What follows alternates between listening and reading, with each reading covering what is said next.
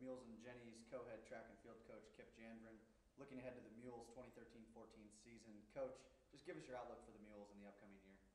Well, it should be a fun year. Obviously, um, you know, winning the conference title last few years in a row is something that we shoot for every year, and, and that's a goal this year again. Uh, I think it'll be very difficult for us to win a conference title. And we've kind of uh, rode Lob and Cialo the last few years, and he scored a lot of points at the indoor conference meet. And now he's gone, and uh, lost Brent Vogel, who set a national record indoors. And those kids are people you cannot replace. But uh, you know, our cross country team's having a great fall and some of those kids are running very good. So hopefully, a group of people collectively can step in and, and do what Lobbin did. We still have a, a fine group of young multi-eventers that are going to hopefully pick up the slack there and fill in.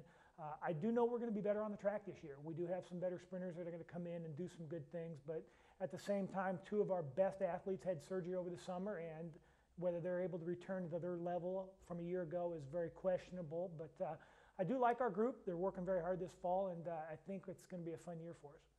You know, what is it going to take for the Mules to kind of continue or try to continue that stretch of consecutive indoor conference?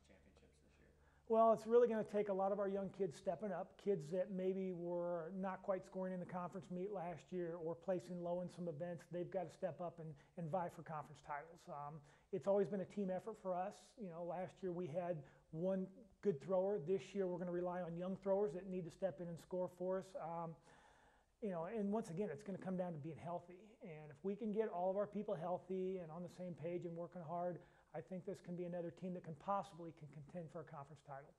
You talk about losing Brent and Lobbin and having young guys step up. Who are maybe a couple of those names that UCM fans should look out for coming into this year?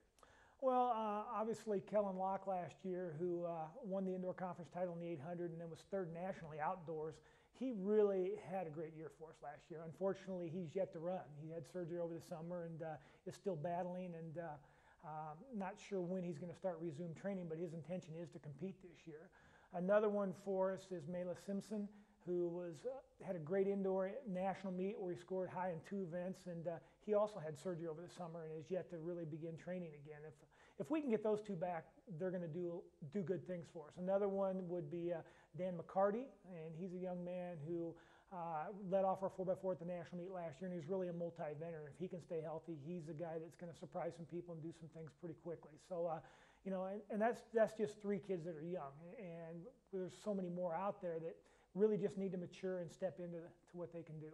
All right, thanks, Coach. Best of luck this year. Thank you.